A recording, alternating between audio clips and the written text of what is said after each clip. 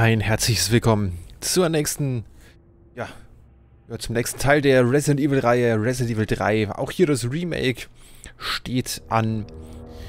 Und ähm, ja, mal gucken. Also es soll ja relativ kurz sein, oder beziehungsweise es ist relativ kurz. Ich habe es ja schon gesehen als Let's Play.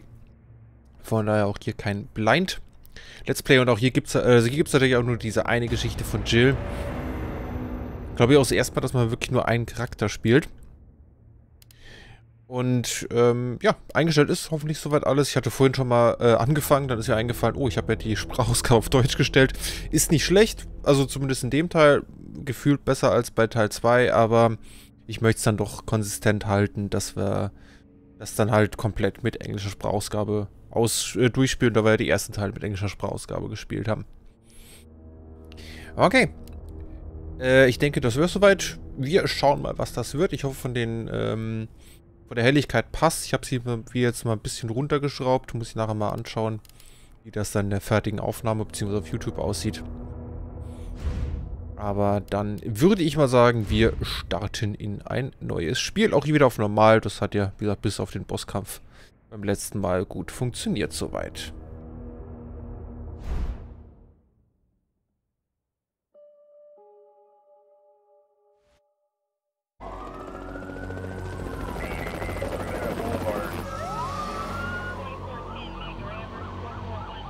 Pandemic has spread faster than any disease in modern history.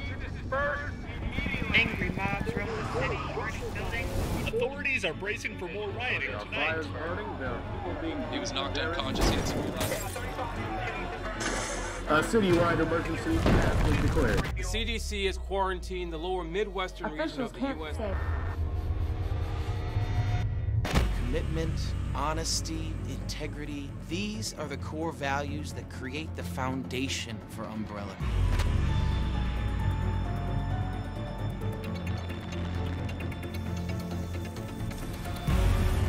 It's this foundation that will continue to build a brighter future for all of us.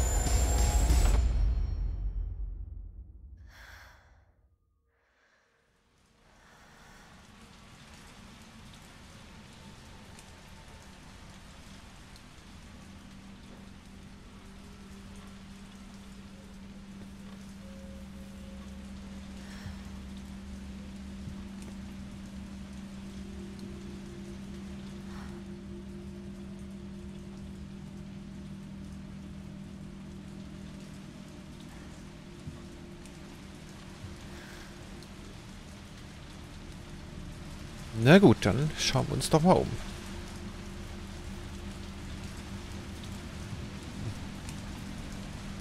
Mit äh, der Raumfahrerei sehr viel Spaß, wie es aussieht.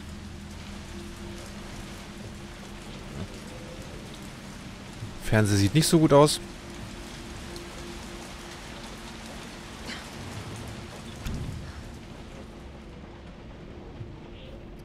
Fenster sind jetzt nah noch hier reinregnet. Ja, also tatsächlich zeitlich spielt es mehr oder weniger parallel bis ein bisschen spät. Also ja, ich glaube, das meiste spielt parallel zu Resident Evil 2. Ähm, auf jeden Fall ungefähr zur selben Zeit. Ich weiß nicht genau, ob es früher oder später war.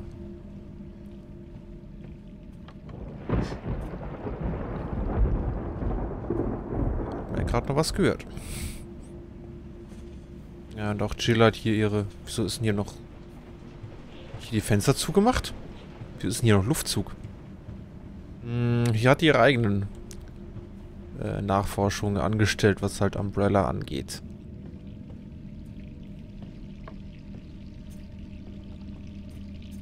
Ja, raus gehen wir auch mal noch nicht.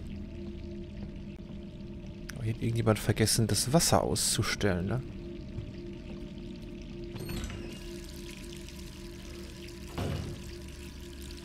Niemand in der Badewanne? Immerhin. Na dann. Hallo, Frau Valentine.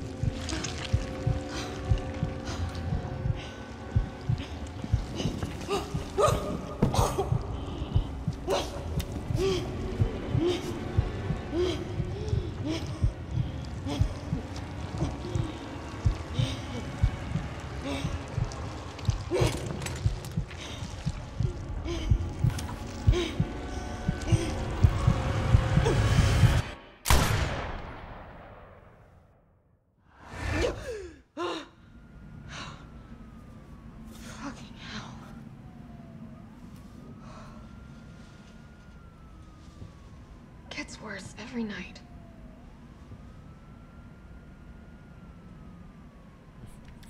Ja, das mit den Albträumen scheint wirklich etwas schlimmer zu sein. Ja, sonst ist es ein relativ kurzes Spiel geworden. Three more days. Then I can kiss this town goodbye. Ja, genau, 80, ich, ja, genau, ich, äh, ich glaube, Teil 2 spielte irgendwann so 25. 26. September.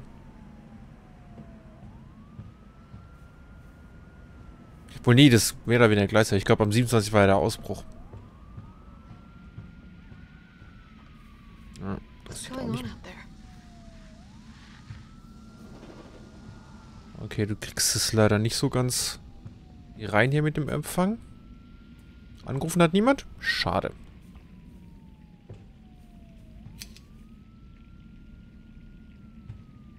Äh, Jede Menge Pillen, die sie da nimmt. Hm.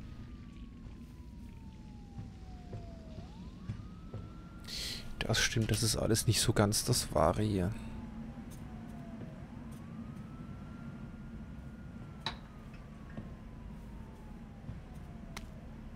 So, wir haben noch einmal Jills Bericht.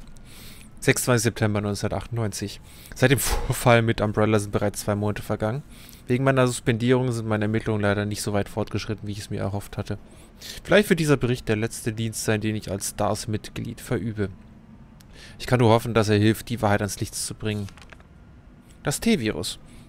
Die von diesem Virus Infizierten scheinen sich buchstäblich in Zombies zu verwandeln. Das Virus scheint sich über verschiedene Arten zu verbreiten. Ein Biss von einer infizierten Person durch den Körper Flüssigkeiten ausgetauscht werden. Kontakt mit Krähen, die infiziertes Aas gefressen haben oder aufgrund der Stärke des Virus kann auch eine erogene Übertragung nicht ausgeschlossen werden. Man sollte jedoch beachten, dass bei den Überlebenden des Vorfalls noch keine Symptome aufgetreten sind.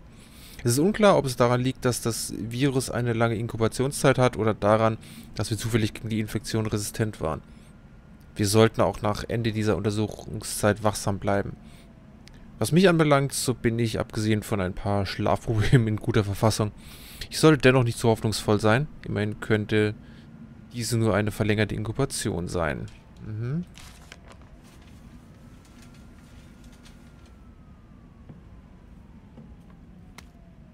Notizen zur Ermittlung. Umbrella, Pharmakonzern, höchster Marktanteil der Branche. Verstärkte Entwicklung von militärischen Waffen unter dem Deckmantel der medizinischen Forschung. Ähm, zudem geheime Entwicklung lebender Biowaffen. T-Virus-Ausbruch im Arclay-Forschungseinrichtung fand noch vor dem Wischen, äh, Willenzwischenfall statt.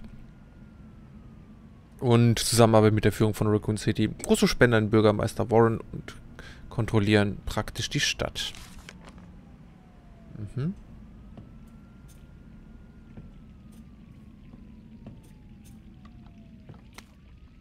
Einen offenen Umschlag. Hm, sie haben mich zu Hause festgenagelt. Die Typen auf der anderen Straßenseite beobachten mich rund um die Uhr von ihrem Fenster aus. Sind das Ironsmänner? Umbrellas? Ich weiß nicht, es macht doch keinen Unterschied. Ich weiß, was die zu tun versuchen. Sie wollen mich einschüchtern, wollen mich schikanieren, bis ich aufgebe. Und das funktioniert. Ich esse kaum, kriege kaum Schlaf. Ich drehe langsam durch, fühle mich wie eine lebende Tote. Aber ich werde sie nicht gewinnen lassen. Ich muss raus aus der Stadt und einen Weg finden, sie zur Rechenschaft zu ziehen. Ähm, die werden natürlich jemanden schicken, um mich zum Schweigen zu bringen. Wenn du hörst, wie ich ermordet wurde, oder was auch immer die Leute, die mit Leuten wie mir anstellen, musst du unbedingt die Ermittlungen dort aufnehmen, wo ich auf, äh, aufnehmen, wo ich aufgehört habe. Meine Akten findest du in diesem Umschlag. Darin findest du alles, was du wissen musst, solange dieses Päckchen nicht abgefangen wird. Ich werde nachts hier rausgebracht. In fünf Tagen. Wünsch mir Glück. Okay, also hat sie das an irgendjemanden geschrieben? Frage ist halt an wen. Chris wahrscheinlich. Ah, Pizza. So viel dann zu sie ist kaum was.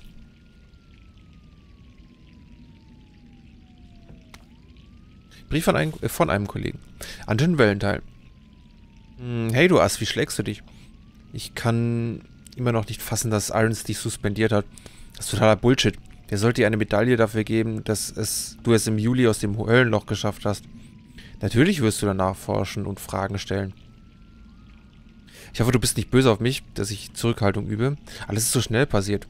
Die Stars waren der Stolz der Truppe. Wenn der Chef uns so plötzlich auflöst, da äh, war ich mir sicher, ich würde den Job verlieren. Es geht das Gerücht um, du verlässt Raccoon City? Ich habe mir schon gedacht, dass du eine Suspendierung nicht einfach so hinnimmst. Versprich mir nur, dass du auf dich aufpasst. Umbrella wird nicht tatenlos zusehen, wenn du versuchst, ihr Geschäft kaputt zu machen. Mach's gut, Jill. Brad Wickers.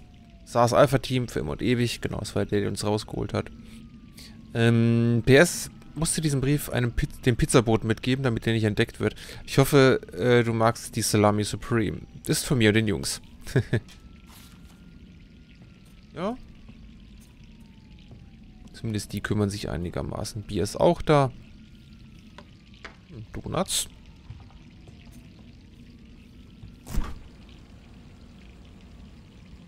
Ja, doch. Das kann ja auch nicht schaden.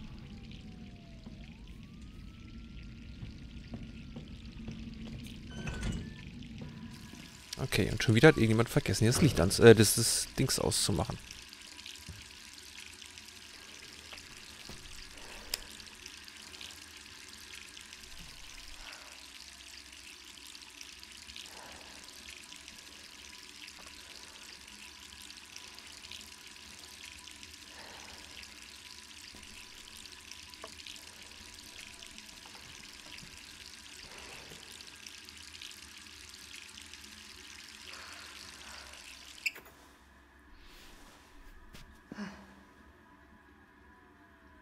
Alles klar. 28. September.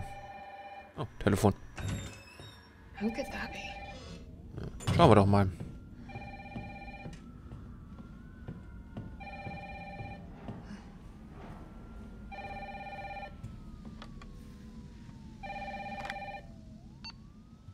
Hello? Jill, are, are you okay?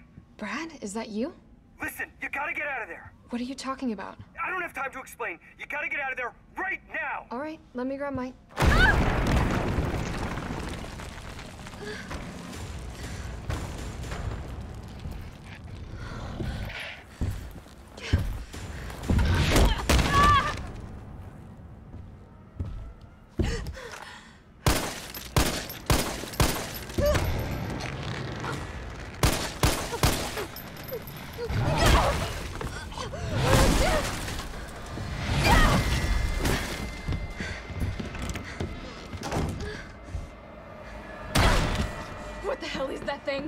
Okay, Abflug.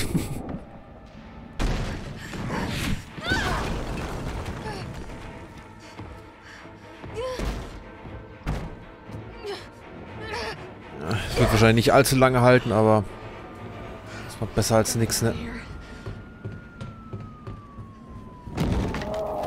Ja, ja, ist ja gut.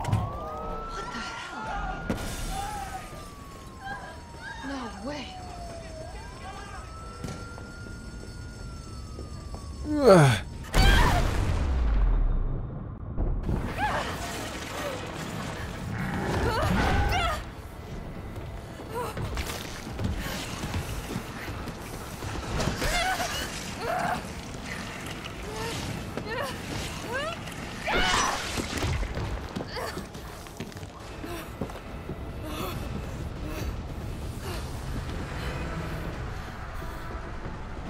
Gerade so nochmal geschafft, aber den werden wir wahrscheinlich nicht allzu lange los sein.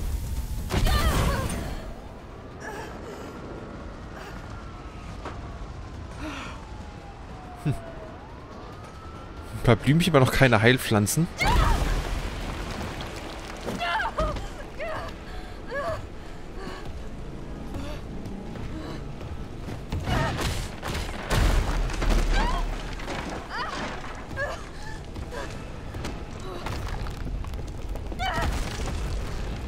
Okay, jetzt kommen wir hier bloß nicht auf den Gedanken.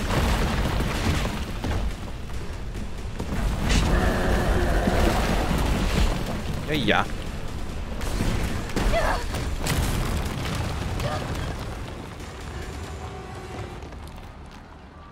Puh, ich hoffe, das reicht fürs Erste.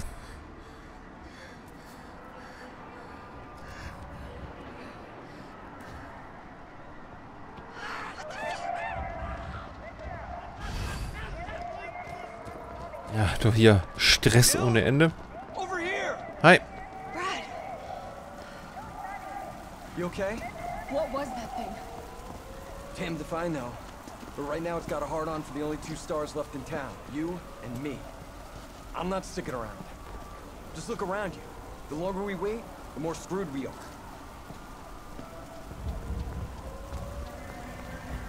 How'd this all happen so fast? I don't know. One fucked up thing always leads to another. It's like Arclay on steroids.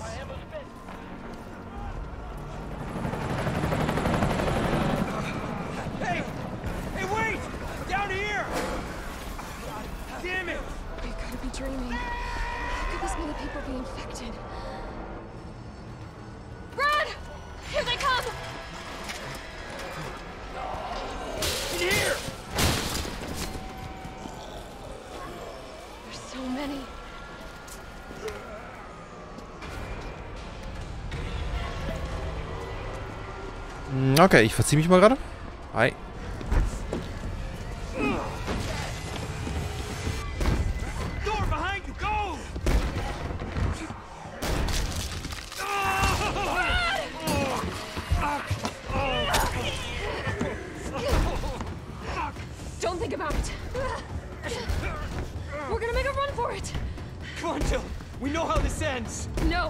Don't.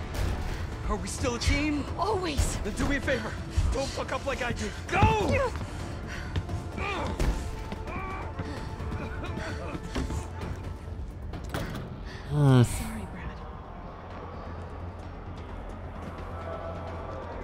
Okay, weiter geht's. Oh.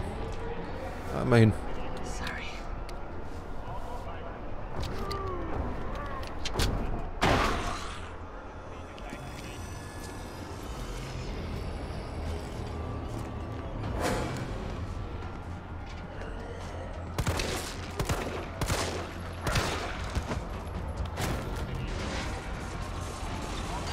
Immerhin haben wir dich zerlegt. Ähm.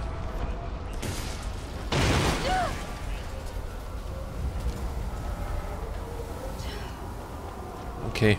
Mal drüber durch. Mal gucken, ob Zombies krabbeln können. Hm, Die lassen wir mal. Okay. Wenn du meinst.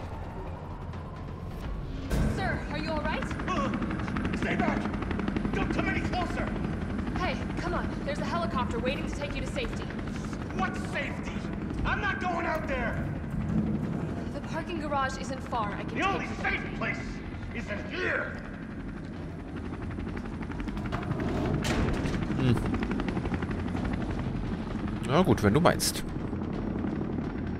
Sir, what's your name? I can't just leave you behind.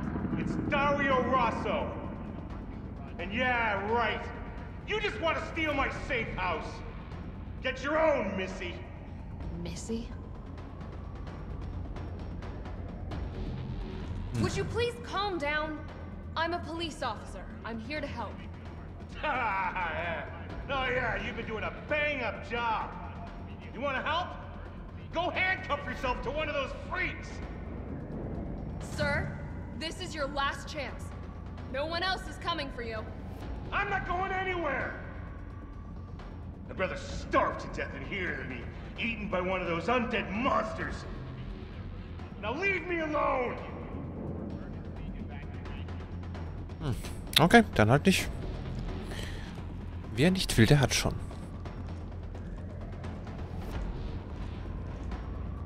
Muni, sehr schön.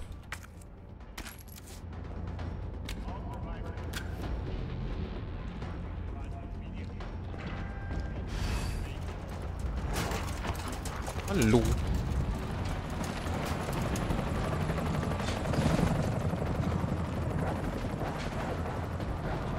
So, ah ja, hier geht's weiter.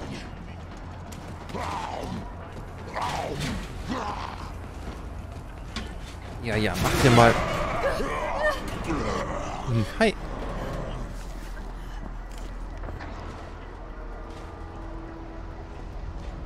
Der versucht auch von seiner Arbeit wieder heimzukommen mit diesen Überstunden. Hier ist aber sonst nichts? Ne, sieht nicht so aus. Gibt den Mülleimer und so.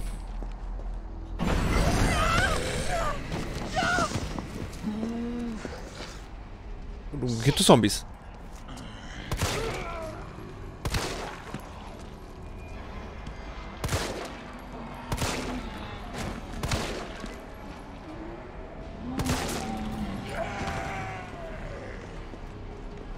Bevor ich noch mehr Munition verschieße, lassen wir das mal.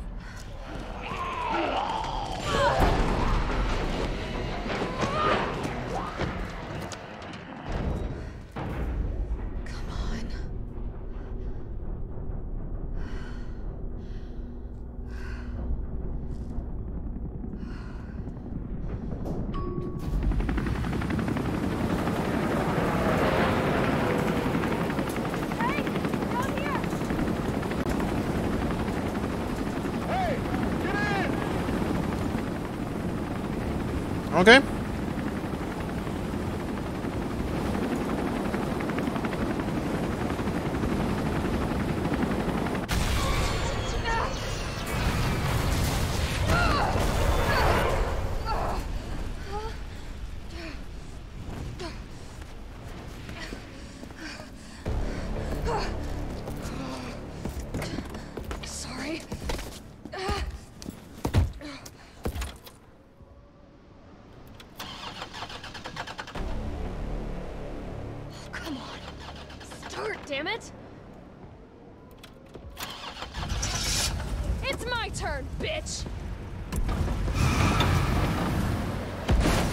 So, das ist das Auto aus äh,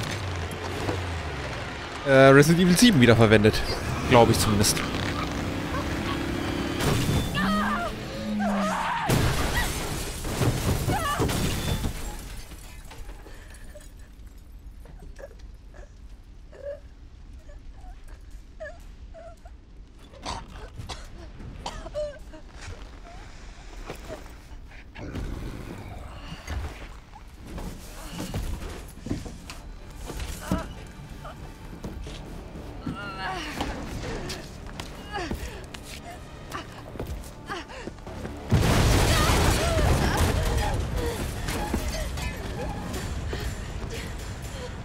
So, bitte nicht anfassen.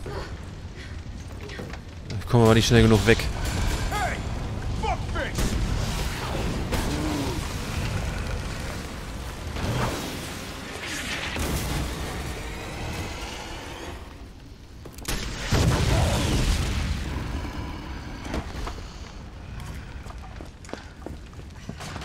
Hey! Easy, lady. I got you. Who are you? What are you doing? Name's Carlos, and I'm saving you. Come on, let's get you someplace safe.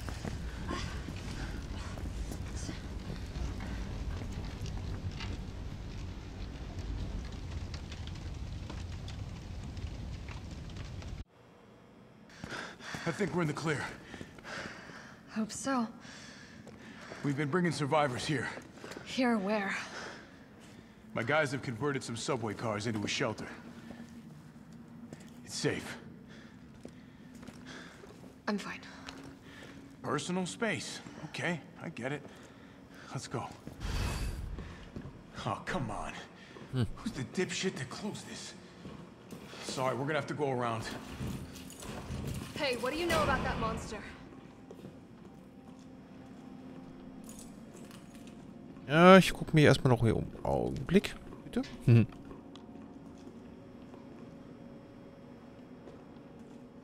Können wir nicht wieder raus? Können wir sogar tatsächlich. Dann kommen wir gleich nochmal.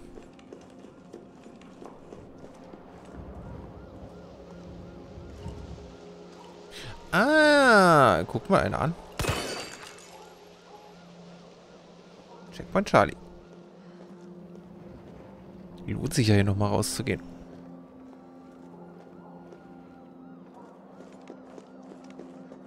So, aber ich denke, das war's. Gut, dass wir den einen Schuss noch hatten. Nothing. I've never seen anything like it. But it's no zombie. It knows what it wants and won't stop till it gets it. Don't you like that in a man? No thanks. He's all yours. Hmm. Listen, I promise you're in good hands. I'm with the Umbrella Biohazard Countermeasure Service. UBCS for short. Are you kidding me? Are you fucking kidding me? You guys are the ones who caused all of this. Whoa, whoa, whoa, whoa. What are you talking about?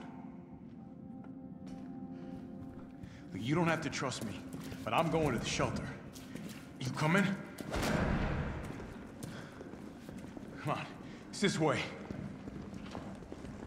Okay, okay.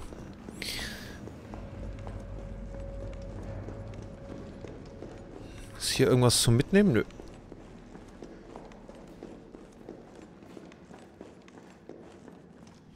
Leider nicht.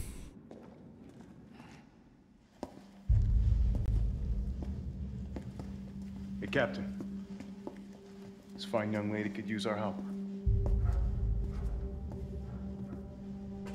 Carlos, you didn't even think to ask fine young lady her name?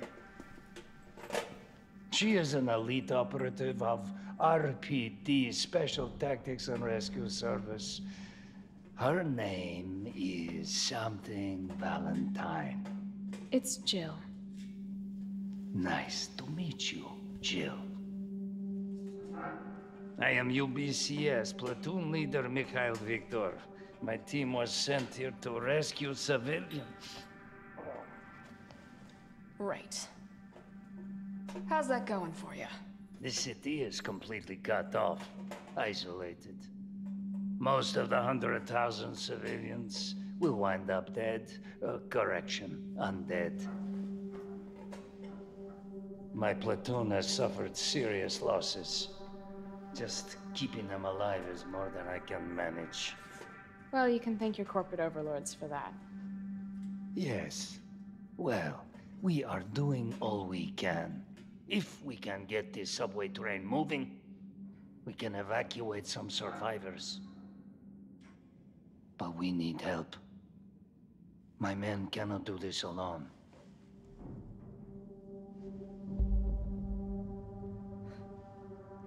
All right. I'm in. But I am on their side, not yours. Oh, hey. It's cool. We all want the same thing. Thank you, Jill. All right, Super Cop. Here you go. We can use this to stay in contact. I know what a radio is. Okay, first things first. We need to get you geared up. Head up to street level. You'll find supplies there. All right. Na gut, das schauen wir uns in der nächsten Folge mal an. Vielen Dank fürs Zuschauen. They really took a chunk out of you. Nothing that I will miss. Ah ja, Heilspray. Und ähm, ja, dann schauen wir uns in der nächsten Folge hier mal ein bisschen weiter um. Vielen Dank fürs Zuschauen. Ich hoffe, ihr hattet Spaß, seid beim nächsten Mal wieder mit dabei. Bis dahin, macht's gut und ciao, ciao.